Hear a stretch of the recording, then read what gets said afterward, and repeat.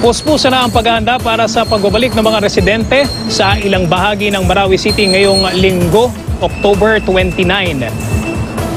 Ayon sa City Health Office ng Lungsod, unang pababalikin ng mga nakatira sa barangay Basak Malutlot.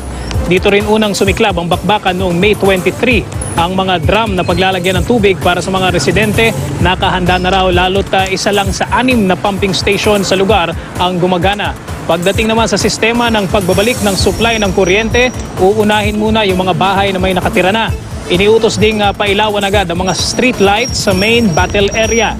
Samantala, inilunsad ngayong araw ang Tindig Marawi, isang advocacy movement para sa pagbangon ng lungsod at pinangunahan ng Tindig Marawi ng aktor at Mindanao Peace Advocate si Robin Padilla.